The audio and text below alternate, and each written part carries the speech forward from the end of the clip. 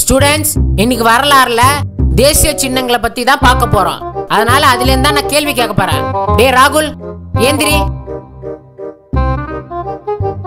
நம்மளோட தேசிய பழம் என்னது?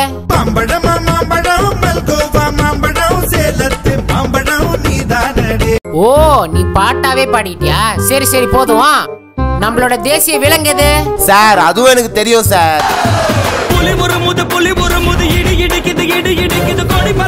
கொடி பறக்குது வேட்டக்கார வரத பார்த்து ஓ நீ விஜய் ரசிகனா? பாட்டிலே பதில் சொல்றியா?